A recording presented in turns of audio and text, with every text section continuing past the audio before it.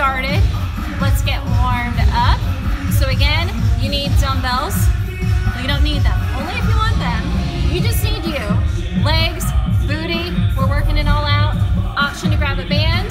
All right, let's get warmed up.